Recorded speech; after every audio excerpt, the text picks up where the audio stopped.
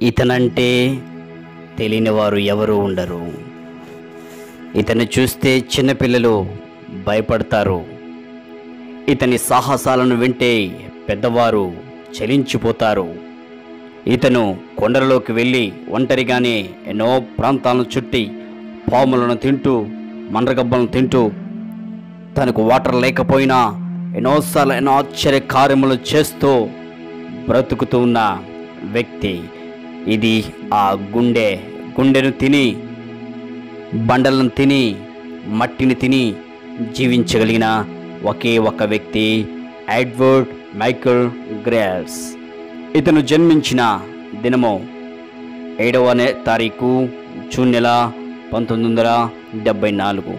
ఇతను లండన్ పట్టణంలో జన్మిస్తూ వచ్చాడు. ఇతను ఆ లండన్ పట్టణంలోనే బెర్క్ బ్యాక్ అని ఒక యూనివర్సిటీలో రెండు డిగ్రీలను సాధించిన వ్యక్తిగా ఘనత పొందుతూ వచ్చాడు. ఇతని సాహసాలను విన్నప్పుడు ఎంతో ఆశ్చర్యమేస్తుంది. భారతదేశంలో ఉన్న హిమాలయ పర్వతానికి వచ్చి ఇరవై నాలుగో సంవత్సరంలోనే ఆ హిమాలయ పర్వతాన్ని ఎక్కించి ఎక్కిన చిన్న వయసు కలిగిన వ్యక్తి. ఇరవై రెండు ఫీట్స్లా ఉన్న ఆ ప్రాంతంలో తాను జీవిస్తూ వచ్చాడు. ఇతను మిలిటరీలో పనిచేసిన అనుభవం ఉంది నేవీలో పనిచేసిన అనుభవం ఉంది. ఆ ప్రాంతంలో హిమాలయ పర్వతంలో పంతొమ్మిది వందల తొంభై నాలుగు పంతొమ్మిది వందల తొంభై ఏడవ సంవత్సరం వచ్చి తాను గొప్ప చరిత్రను సృష్టిస్తూ వచ్చాడు. ఇతను తన వెంట ఎప్పుడు ఈ చాకును తీసుకెళ్తాడు. ఈ చాకు తన వెంట ఎప్పుడూ ఉంటుంది. ఇతనితో సాహసం చేయడానికి ఎంతోమంది సెలబ్రిటీలు ఎంతోమంది పేరు కలిగిన వారు ఉవ్విల్లారుతూ ఉంటే ఉంటారు.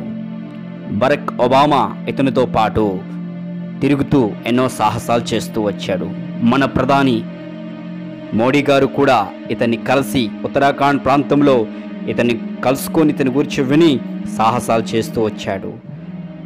డ్రిల్స్ గారు మోడీ గారికి ప్రార్థన చేస్తూ దేవుని పేరిట ఆశీర్వదిస్తూ వచ్చాడు. ఇతని భార్య పేరు షారా.